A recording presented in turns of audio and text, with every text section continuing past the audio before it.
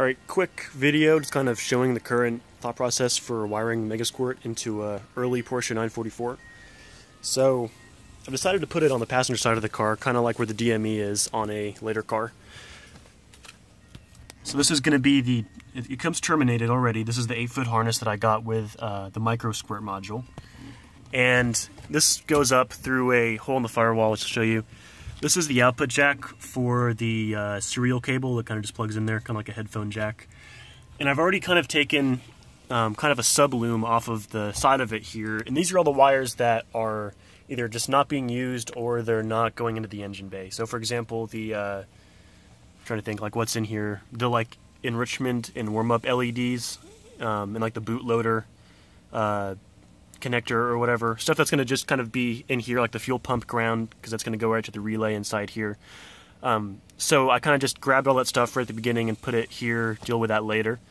Uh, I really like this conduit stuff. You can get it at Napa or whatever. It's pretty cheap, and it uh, really cleans it up. So I'm going to be doing that throughout the throughout the engine bay too.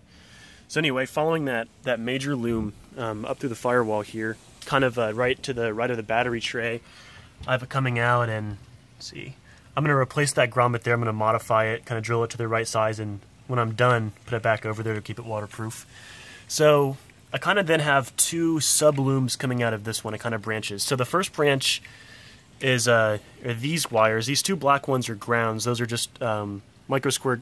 It, it's grounds for the uh, the sorry the injectors because it provides a ground to the injectors and the ignition packs, ignition coil packs, which are going to be mounted here on this. Uh, solid but not very um, smooth looking bracket.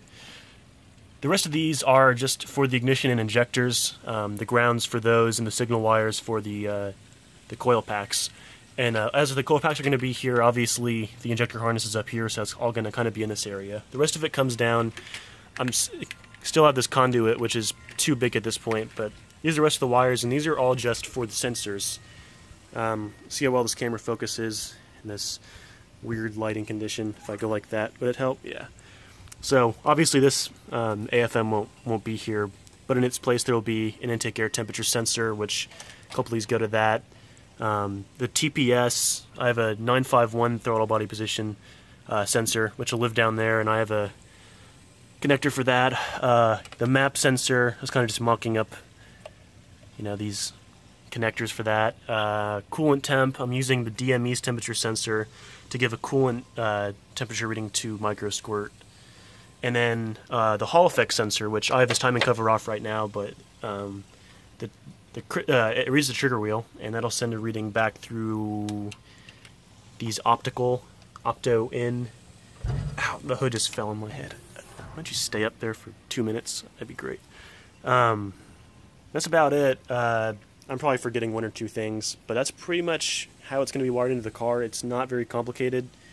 Uh, for the actual mounting, what I was thinking about doing was I have one of these kick panels from uh, just a parts car, and uh, this just this just obviously just, just mounts like that, or however it is on the passenger side. And I was thinking about just taking some wood, you know, cut it and put a second part up there, and then actually take the micro squirt, which is this guy, maybe putting it, you know, just like that or something. Um, that big harness plugs into there. You know, maybe put it like that, and then over here, uh, put some. You know, I'd have like the main relay, the fuel pump relay, and then in the mail right now, I have uh, a six gang fuse block that I would just probably put here, so I could just kind of locally do all of the. You know, have like a power from the battery, and uh, there's the new injector harness. The I have a three prong uh, weather pack connector coming for that. Should be here today or tomorrow. Anyway, I'm talking too much, but that's pretty much how it is. It's a lot of it is just waiting for parts right now, but I think that this could work pretty well. So of course this kick panel will mount in the factory spot, and so just under these two screws, and I can kind of take down the whole thing.